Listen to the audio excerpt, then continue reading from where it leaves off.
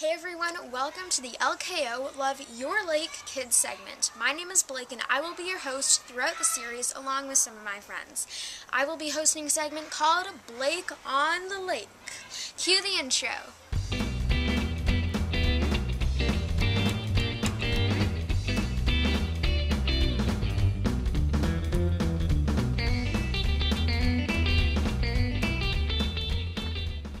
Today we talk about invasive species in and around Lake Kashagawigamog.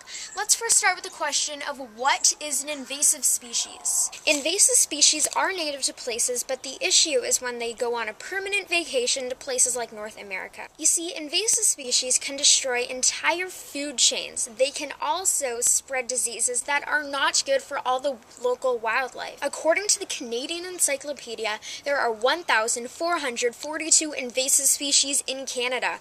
Wow.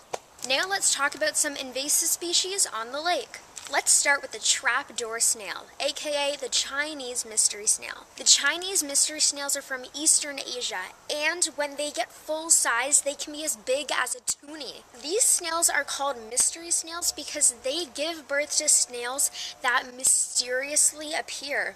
Whoa, that's mysterious. They are an issue because they clog pipes that suck in water and they also spread diseases that are not very good for the animals and plants that live in the lake naturally. Some ways that you can help stop them is to report them. When you see them, call 1 800 563 7711. You can also check your boats and motors for them as well. Now let's talk about the beech bark disease. The beech bark disease is a type of fungus that appears on beech trees. This species of fungi is native to Europe and is in the forest around Lake Kashagawigamog. This disease causes beech trees to have weird bumps, yellow leaves, and, well, some not very good other side effects. Unfortunately, when a beech tree gets this, they die.